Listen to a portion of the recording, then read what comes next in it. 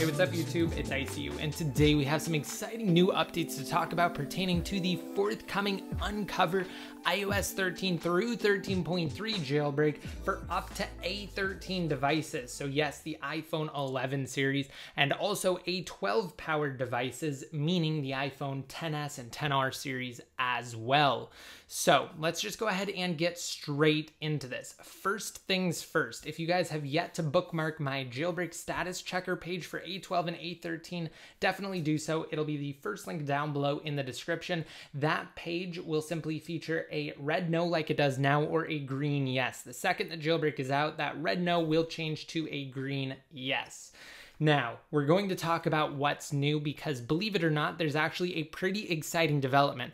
Previously, as I covered in my last video, Pwn himself even confirmed that the jailbreak would be version specific to iOS 13.3, at least at launch. It looks like that's all changed. In a tweet from just the other day, he said, quote, it looks like the upcoming version of the uncovered jailbreak may support all iOS versions starting from 13.0 up to 13.3 on A12 through A13 devices. How fantastic is that, guys? Absolutely awesome stuff. And if you already did either update to 13.3 or downgrade from 13.3.1, then congratulations, you are on the latest firmware that will be jailbreakable.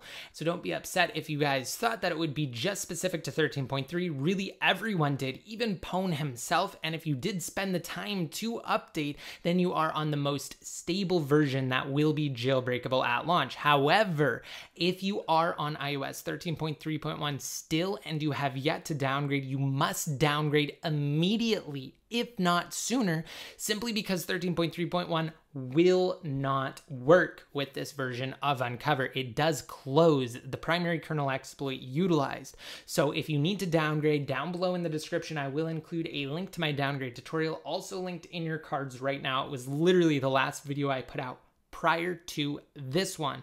Also, Pwn, as well as some of those he's working with, have tweeted out numerous times that they have the offsets for basically all A12 and A13 devices now as well. Those are the devices that they're focused on first. Those will be jailbroken immediately once this update is released to Unc0ver. And then for all older devices, meaning A11 and prior to that, older than the iPhone 10, hopefully they will be supported soon, which are also jailbreakable via Checkra1n. So if you're on a device that is susceptible to the checkm8 exploit and you're already jailbroken with Checkra1n, definitely keep your device on 13.3 or lower simply because then you will have a semi untethered jailbreak instead of having the semi tethered jailbreak, which requires you to plug your device into your computer via a USB cable. So let's go over everything that's new, has happened since my last video, and is relevant and pertinent to this upcoming release.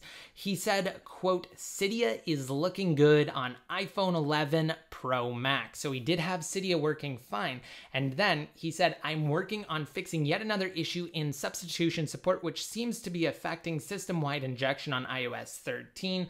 Just found the root cause of the bug that breaks system wide injection on iOS 13. I am now working on safely fixing this bug. I just got the cylinder tweak working on A13, just properly fixed the issue that was breaking system wide injection on A13, successfully installed Snowboard and enabled the Felicity theme on A13 13, tweak injection seems to be working flawlessly. I am now working on cleaning up my changes and issuing a beta build to the internal beta testers. We're almost there. And then finally, for what it's worth, I fixed several stability issues in the PAC list implementation while updating it for A13. The issues which I fixed include freezes, issues with some system services, and random resprings. So guys, it looks like we are so very close to the release of the first jailbreak jailbreak that will be able to work on not only A13 devices, but also the first jailbreak for A12 on iOS 13. Some very awesome and exciting stuff. Like I said toward the beginning of this video, I will let you guys know the very second the jailbreak is out.